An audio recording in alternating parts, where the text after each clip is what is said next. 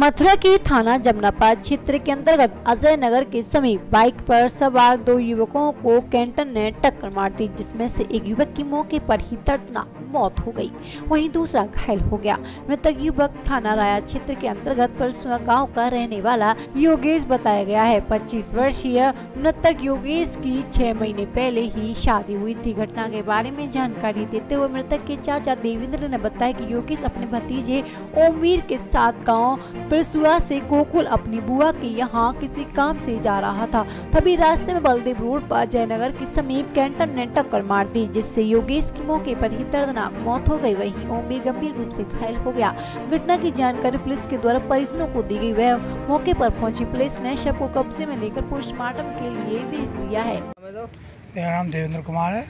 जो घटना हुई है ये कौन लगते हैं आपके? ये मेरा भाई है। और इसमें एक मेरा भतीजा है।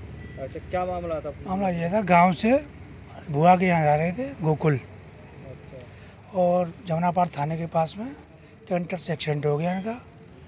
और इसकी मेरे भतीजे की मौके पर मृत्यु हो गई। क्या नाम है बताइए योगेश कुमार। अच्छा क्या करते थे?